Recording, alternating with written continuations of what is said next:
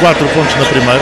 Vamos ver se continuamos assim. Angola parece-me estar mais fresca que os Camarões, mas isto só se vai ver no fim, na fase, na fase final, é que nós vamos ver quem é que, quem é que se vai apresentar mais fresco para ganhar este jogo. E quem mais marca na seleção uh, dos Camarões é o Kaji, com 14 pontos na seleção Olha, nacional. Nelson, É uma- o Moraes com 14. há uma falta.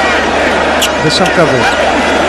Aí uma situação com o árbitro. Tive, tive a impressão ter havido ali uma falta antidesportiva. Uma, uma, uma expulsão. não é? Yannick, Yannick é expulso É expulso. ou é técnico? Uma técnica.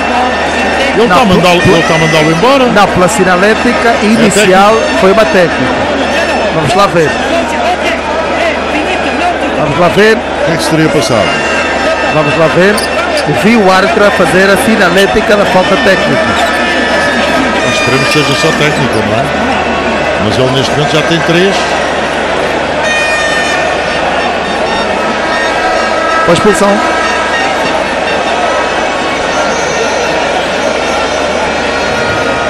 Não, se tu estás aí mais perto não consegues dizer o que é que se passa. Mas o Yannick está aí para o banco. Exatamente. Acho que foi o. Moscavide, no ponto em que se encontra, consegue ver que nesta altura há conversa entre o técnico expulso. Foi seleção. expulso. Exato. Foi expulso. Mas não houve o sinal como tal. Isto todo, toda a gente viu. Foi expulso. O sinal de Olha, foi expulsão expulso, foi expulso. foi, exato, foi expulso. O sinal de expulsão O que é que terá não foi acontecido? exibido. O que é que terá acontecido? Palavras do árbitro. Vamos apurar, Zé Carlos, desta. Eu acho que ele foi provocar, foi provocar o Adinganou, porque ele, ele estava muito próximo Já houve troca de mimos no primeiro período. no primeiro período. Claro, para bem numa